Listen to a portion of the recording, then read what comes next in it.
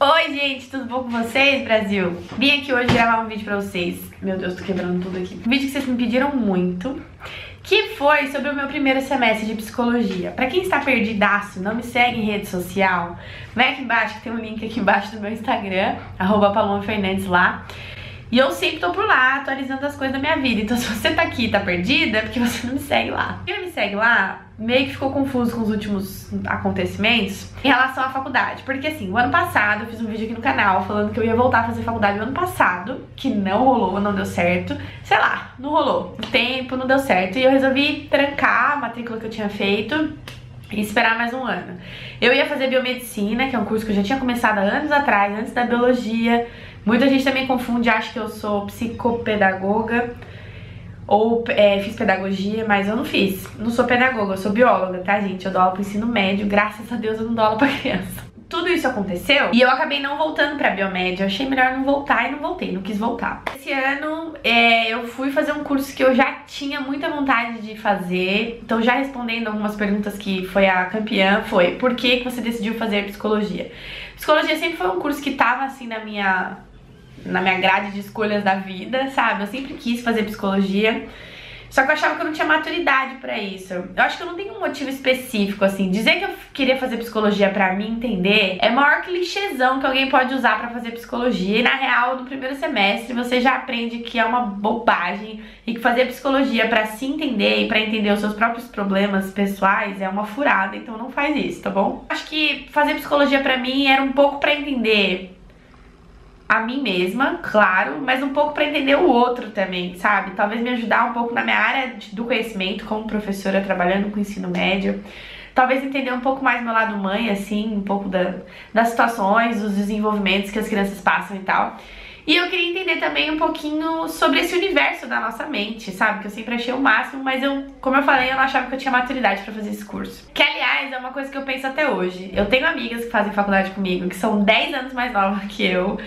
E às vezes eu acho que a gente precisa de maturidade para fazer esse curso, sabe? As minhas amigas têm, eu sinto que elas são meninas assim de 18, 19, 20 anos, mas com muita maturidade. Então, independente da idade, eu acho que maturidade é uma coisa importante de você ter para fazer esse curso. Porque como você já vê logo no primeiro semestre, que é uma das conversas que a gente tem com alguns professores, é que a psicologia é um curso muito denso, muito teórico e muito sensível, ele é muito duro ao mesmo tempo, sabe? Você confronta muito com as suas realidades, com seus medos, com suas angústias, com seus vazios, e é um curso difícil de lidar e de levar. Se você não fizer terapia, se você não cuidar de você, né? Como é que você vai poder cuidar e orientar a mente de outra pessoa e ajudar ela a seguir um caminho se você não consegue encontrar o seu? Fica difícil. Acho que a psicologia foi mais por aí mesmo, para entender tudo isso. Aí eu vim contar como é que foi o primeiro semestre. Bom, o primeiro semestre da psicologia foi basicamente um caos. Primeiro porque fazia tempo que eu não voltava pra faculdade, né? Que eu não, tinha mais essa rotina de estudo, então foi louco, foi louco, louco, louco. Se vocês quiserem eu faço um vídeo falando como é que eu faço pra dar conta de estudar, um pouco da minha rotina de estudos no próximo semestre eu falo um pouco sobre isso. E foi um caos, porque eu não tava mais nessa rotina, então eu tive que me enquadrar, e aí eu tive que arrumar uma babá pras crianças, foi uma coisa meio rápida, meio louca assim. Mas basicamente, quais foram as matérias que eu tive nesse primeiro semestre? Galera, a grade ela pode variar de uma faculdade para outra, tá? Minha faculdade é particular, eu estudo na Cruzeiro do Sul, aqui em Itu, perto de Indaiatuba, Campinas, São Paulo. E é, na minha faculdade, na Cruzeiro do Sul, ela tem uma grade específica, mas as matérias meio que não mudam, tá? O que pode mudar é a ordem delas. Tipo, o que acontece pra mim no primeiro semestre pode acontecer pra você no terceiro. E o que acontece no meu terceiro acontecer pra você no primeiro. Mas é basicamente parecido, tá? Então, o que eu vivi no primeiro semestre, além do caos das provas e tal. Na minha faculdade eu tive no primeiro semestre ética, de PCP, que é psicologia, ciência e profissão, que é uma matéria que fala mais ou menos assim sobre todas as áreas de atuação da, da psicologia. Tipo assim, você enquanto psicólogo, o que, que você pode fazer da sua vida, entendeu? No que, que você vai trabalhar. É basicamente isso, a PCP. Tive bases biológicas, né, relacionadas à psicologia, que é basicamente biologia pura, e eu deitei nessa matéria, porque como eu sou bióloga, foi bem mais fácil pra mim. Mas é uma matéria que basicamente fala de sistema nervoso, sistema hormonal, endócrino e tal, e como isso influencia na, na sua parte né, psicológica, psicomotora e tal. Foi bem legal. Eu tive história da psicologia. Olha, essa matéria foi uma, uma matéria que eu criei muita expectativa para ela. Eu achei que seria uma parte muito top, assim, de ficar falando da, da história, como que surgiu a psicologia e tal. É basicamente isso. Mas não simpatizei muito com a professora no começo, depois a gente se deu bem, mas no começo não foi muito legal.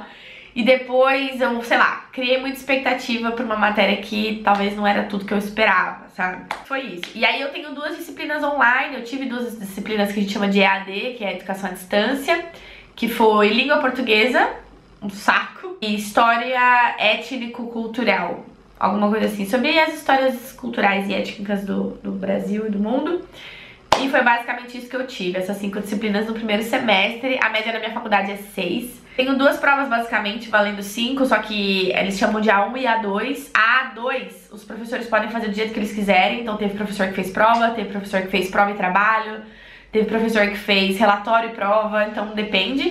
E a A1, que é a prova regimental, é a prova que acontece numa semana, uma semana de provas da faculdade, que todos os cursos estão tendo prova nessa época. Então é mais ou menos isso. E eu fui muito bem, eu consegui tirar nota em todas as provas, eu não peguei nenhuma avaliação final, que a gente chama de AF. Que é assim, você tem uma média de 0 a 6. Se você ficar entre 5 e 6, né, tipo 5,1, 2, 3, 4, 5, 6, 7, 8, 9, você faz uma avaliação chamada de avaliação final. É tipo uma recuperação, chama AF. E aí, se você não passar nessa AF, ela vai substituir sua menor, sua menor nota, né? Aí você fica de DP, que é a dependência que você tem que pagar a matéria de novo e fazer o semestre de novo, a matéria no, no outro semestre, né? Eu não peguei nenhuma F, eu consegui passar em todas as matérias, com notas boas até, eu estudei bastante, bastante, bastante mesmo e consegui. E basicamente, uma das primeiras perguntas que eu recebi é, pá, na, no começo da psicologia tem bastante discussão, debate, você já meio que se sente psicóloga? Sim e não. Sim para a primeira pergunta, que sim, tem bastante discussão e debate. Às vezes isso é um pouco chato, porque a gente chega lá meio cru, querendo muito da teoria, e às vezes o professor não, sabe, não atende suas expectativas, a gente teve esse problema com ética. E aí é muito debate, debate, debate de assuntos que a gente ainda não detém, é complicado, mas tem. Ah não, você não se sente psicóloga definitivamente no primeiro semestre. E aí você cria, uma coisa que eu, que eu peço pra vocês, não criem expectativas de tipo assim, ai, mas eu já vou ver casos de psicopatas e de transtornos e de doenças mentais e de sabe? Não, isso não vai acontecer, você não vai ver isso agora. Toda graduação acho que é assim, né? O primeiro semestre, o segundo semestre é aquela coisa mais, principalmente o primeiro, é aquela coisa mais densa, da base, né? Que você tem que, tipo assim, saber a base para conhecer o, o, resto, né? Dos conhecimentos mais específicos. Então agora, no segundo semestre, eu tenho umas matérias mais densas, mais específicas do curso de psicologia mesmo, tipo neurofisiologia, tipo psicologia do comportamento, umas coisas mais específicas, que daí no próximo semestre eu conto pra vocês. Eu vou vir todo semestre aqui contar como é que foi. Foi um semestre puxado, de muito relatório para entregar, muita coisa para ler. Galera que quiser fazer psicologia, entendam, vocês vão tirar muito xerox, muito xerox. E assim, de material, eu uso esse caderno, que eu achei que ia ser, tipo, super exclusiva, que eu vi numa loja esse caderno com a psicologia na frente, mas eu cheguei na minha turma tinha um monte de gente. então eu comprei esse caderno. Ele tem várias coisas preenchidas já, só que eu usei metade dele. Então eu separo com essas fitinhas aqui, ó. E aí eu vou usar o resto do caderno. Metade dele eu vou usar para as próximas matérias. E eu gosto de usar uma pasta, como essa daqui, que é uma pasta dessas de divisória, tá vendo?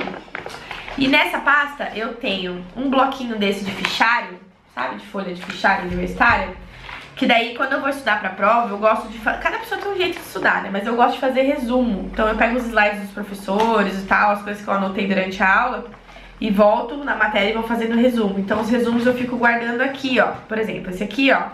Eu fiz um resumo de é, PCP. Então eu fiz um resumo aqui nas folhas e tinha os xerox dele com as resoluções e tal que a gente tem que ler. Então eu vou separando aqui pra ficar mais fácil pra estudar foi basicamente isso que eu fiz esse semestre e tem funcionado. Eu fazia muito isso na faculdade de biologia e funcionou pra mim. Então eu tô fazendo na psico e funciona também. Só que eu estudo muito, assim, tem muita coisa pra ler, né? E como eu trabalho, tenho as crianças e tal, é, uma, é um rolê. Eu falo pra vocês em outro vídeo. É um curso muito teórico, um curso que você estuda muito, é um divisor de águas na sua vida, porque a minha turma começou com cento e tantas pessoas, já desistiu uma galera no começo, e uma galera pegou uma, pegou DP agora, pegou a F e tal, e provavelmente se essa galera reprovar, eu duvido que essa galera volte. Esse é um divisor de águas esse primeiro semestre, mas foi assim, é encantador em alguns momentos, porque tem algumas aulas introdutórias de professores que já são psicólogos, já trabalham na área, e aí eles falam alguns estudos de caso, alguns alguns relatos pessoais deles e você fica tipo, ai, que top. Umas outras coisas que você vê e fala, putz, eu nunca faria isso. Então é o que meu professor sempre fala. A gente tem várias abordagens, né? Então, tipo Freud, humanista, behaviorismo e tal. E a gente sempre entra, às vezes, com uma ideia na cabeça, tipo, ah, eu vou ser psicólogo porque eu vou ter um consultório. E aí depois você fala, ah, não, acho que não é isso que eu vou fazer. Uma segunda pergunta que me fizeram muito, pá, você pretende largar sua carreira de bióloga para trabalhar como psicóloga? Por enquanto, sim, eu pretendo deixar a sala de aula e trabalhar como psicóloga daqui a uns anos. Mas eu não sei também como é que vai ser. Eu não sei se de repente eu consigo conciliar, como eu tô trabalhando só três vezes por semana, às vezes nas outras duas ou três abrir um consultório e, e clinicar. Eu não sei se eu vou querer clinicar, eu penso muito em outras áreas da psicologia, assim, sabe? Meu professor fala que a gente tem que flertar com todas elas. Eu fico meio que flertando um pouquinho aqui, um pouquinho ali, e aí é mais ou menos isso, assim. Por enquanto ainda não decidi, então não sei. E uma última pergunta que me fizeram é quanto tempo de curso? Na minha faculdade são 10 semestres, que são 5 anos, né, de curso. Eu tô agora no segundo semestre, eu vou começar agora em agosto. Foi muito legal, foi uma experiência muito boa. Não, não quero largar a faculdade, não foi uma coisa que eu experimentei e falei, putz, não é isso que eu quero pra minha vida. Tive algumas amigas ali que, que desistiram. Tive uma amiga do meu grupo que saiu para fazer fisioterapia. Ela não queria continuar na psicologia, não era o rolê dela. Mas eu quero continuar. Quero continuar, vou continuar. Só que não é o que todo mundo acha no começo. Você não vai ver as matérias, tipo, super específicos sobre mente, sobre psicanálise, sobre Freud, sobre as teorias e como tratar pessoas que estão com algum, né, com algum tipo de necessidade. Não vai acontecer isso. Essas demandas vão acontecendo depois. Mas o curso é encantador, é muito legal para quem gosta. Gostei bastante. E foi esse meu saldo do primeiro semestre. Estudei bastante, consegui passar em tudo, nenhuma DP e vamos avante pro segundo semestre. Se vocês tiverem mais alguma pergunta, deixa aqui embaixo nos comentários ou me manda e-mail que eu respondo pessoalmente. O e-mail tá aqui embaixo também. Tá bom? Me procura lá no Instagram, a gente vai se falando. E no próximo semestre, no final do ano, eu conto pra vocês um pouco mais sobre o que, que eu vivi na psicologia. Tá bom? No segundo semestre, a gente se vê no próximo vídeo até quinta. Tchau. Esquece de deixar o like aqui embaixo, se inscrever no canal.